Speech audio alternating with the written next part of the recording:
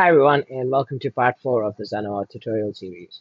In this part we will be continuing from where we left off in the last part and we will connect the sign up screen to the endpoints that we created.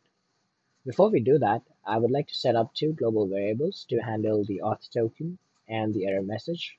So we will have an error message variable as an app variable. This will help us display an error message when a user has problem signing up or logging in and we would also have a device variable called auth header, which would be saving the auth token that we receive from the Xano backend. So once we have created these two, we can close this. And now what we'll do is we will set up these text input fields to a respective variable so that we can send them in our post request. So we'll start by selecting name. Uh, this would be a controlled mode, and then we'll create a new string variable. We can call it name value and save it. And we will do the same things for email and password as well. We will create separate string variables for those. So this would be an email value. And then the third one would be another new variable called password value. So once we have these saved, we can go to a button to sign up button and we will start by creating some request. So let's start with the first action. It will be an API action in which we will make a post call to our Xano API uh, we will select the sign up one and we can save the result as sign up response. Because this would be the response that Xano would be sending back once we make this request. And in the body if you notice uh, we would save these as password value email value and then a name value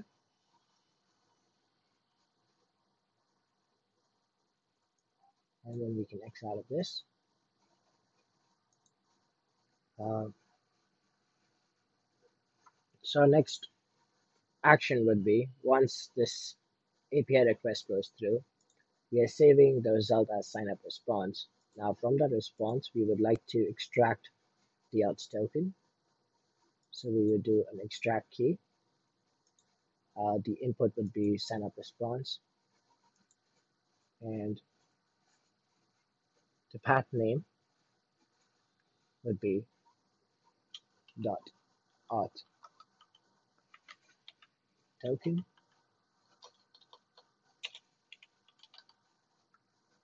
and we can save this as a result as well to auth token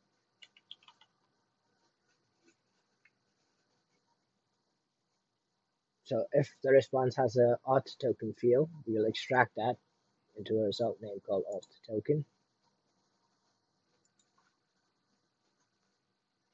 And then in case if there was an error, what we can also do is do another extract key option.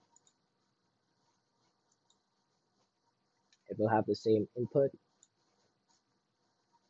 Uh, the path would be dot message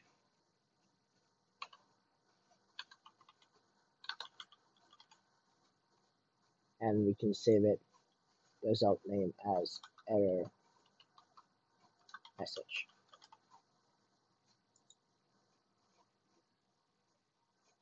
So this would be only true if uh, there was an error message inside the API response. So our fourth action would be to set a global variable our error message variable in case there was an error.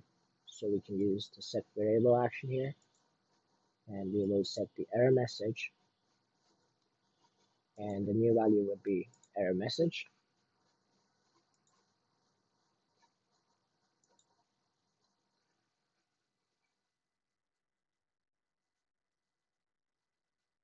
After that, we would have a conditional stop, which would be a fifth action here. So we can add a conditional stop. And we'll be checking the value of auth token. And then we can use the negate option. So if there was no auth token present, it will result in a true and uh, this conditional stop will be activated. So the user won't be able to navigate to or use the next actions in this list.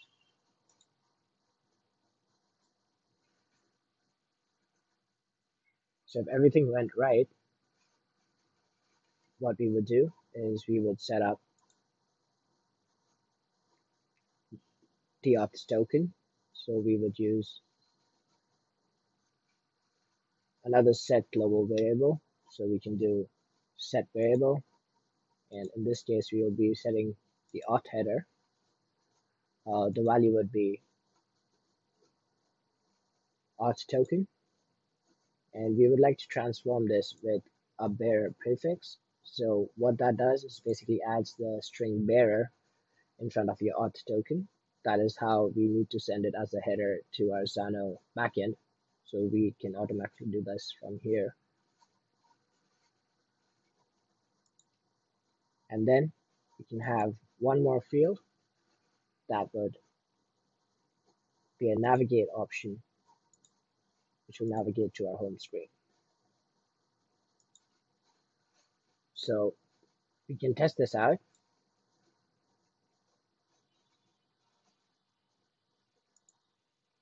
And just enter some dummy values here. I can say test. Email would be test at test.com. And then password would be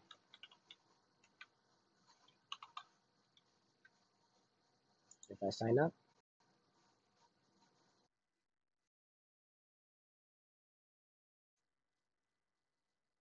And there we go. So it was a successful sign up and we were able to go to the home screen.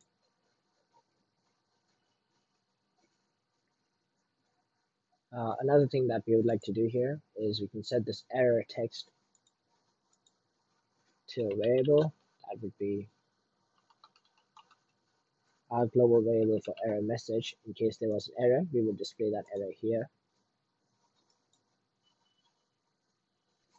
So right now, since there was no error, you don't see anything.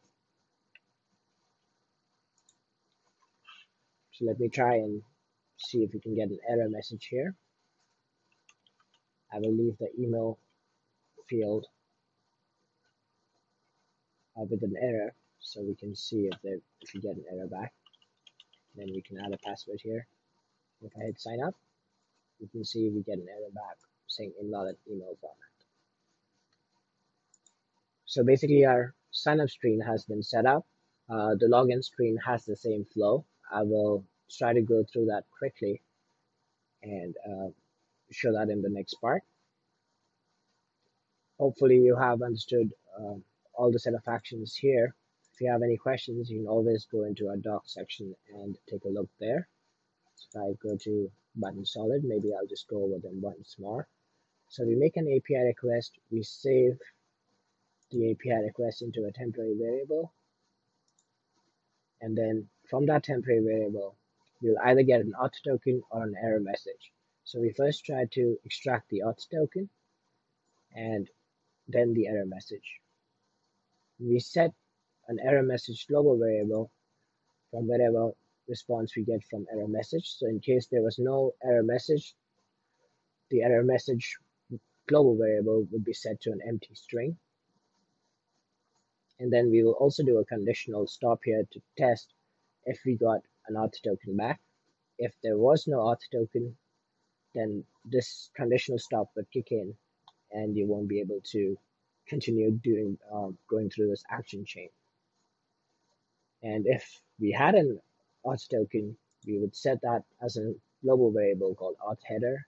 We will add a bearer prefix to it, and then we would continue to our home page. Hopefully this all makes sense, and I will meet you in the next part. Thank you.